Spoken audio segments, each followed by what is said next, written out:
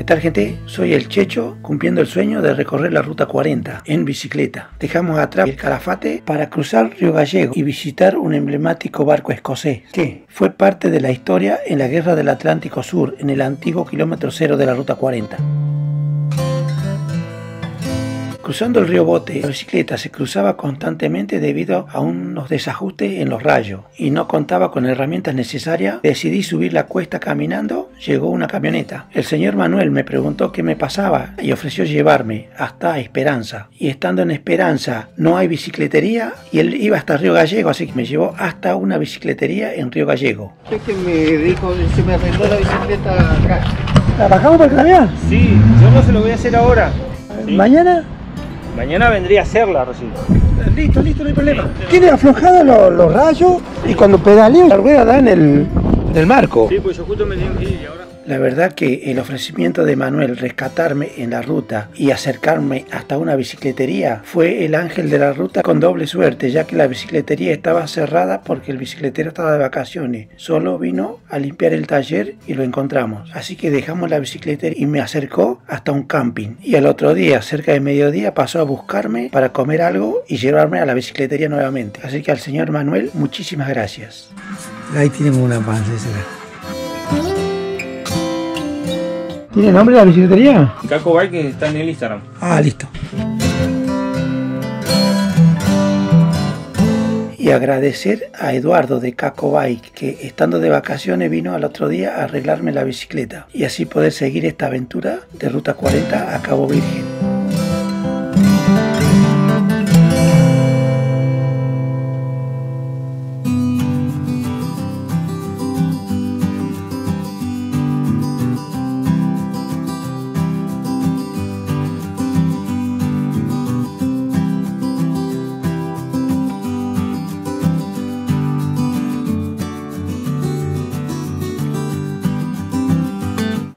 Y ya con la bicicleta arreglada empezamos a rodar esta, la última ciudad que recorre la ruta 40 en la provincia de Santa Cruz y más adelante visitar Punta Loyola, un lugar donde la historia reciente dejó huellas marcadas en el antiguo kilómetro cero de la ruta 40.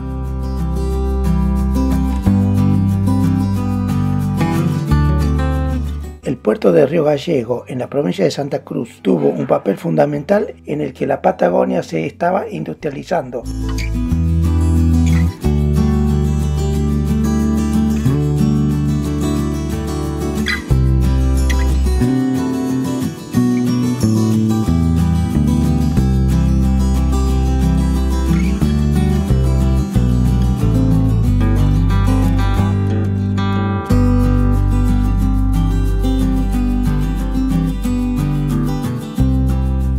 El antiguo puerto de Río Gallego ha sido transformado en un sitio histórico y un atractivo turístico en la zona.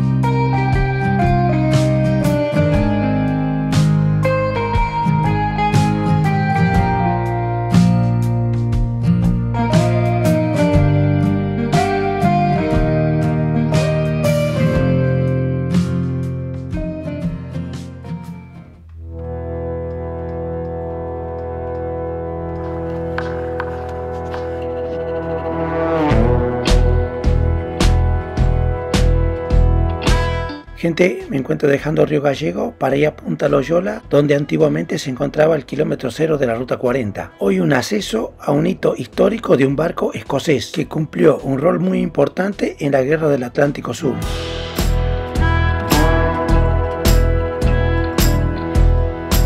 Punta Loyola es un puerto de aguas profundas sobre el Atlántico y se encuentra en la margen sur de Río Gallego. Allí se ubica la terminal ferroportuaria de yacimientos carboníferos Río Turbio. Pasando el yacimiento y sobre las márgenes de Puerto Loyola, nos encontramos con el buque Marjorie Glen, que fue construido por una compañía británica en Escocia en 1892.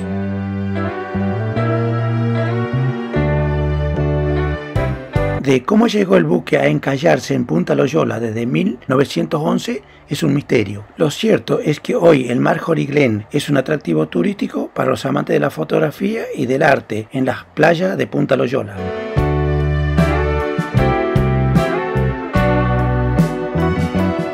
El lugar cuenta con punto wifi, pilares con las manos marcadas de pilotos que practicaron vuelos rasantes sobre este buque para combatir en Malvinas.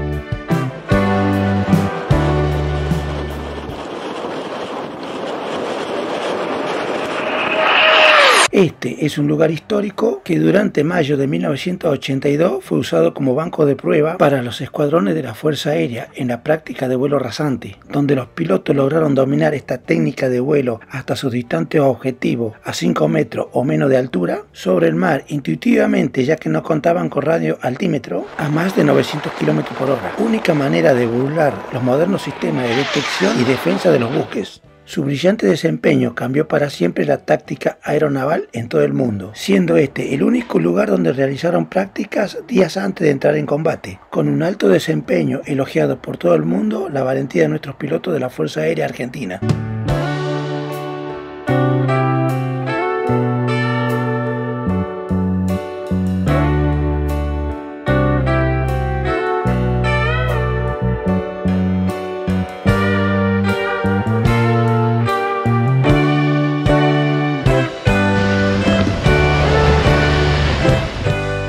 Espero que te guste el video, me regales un like y en el próximo video te cuento cómo en casi 4 años llegué al kilómetro cero de la ruta 40.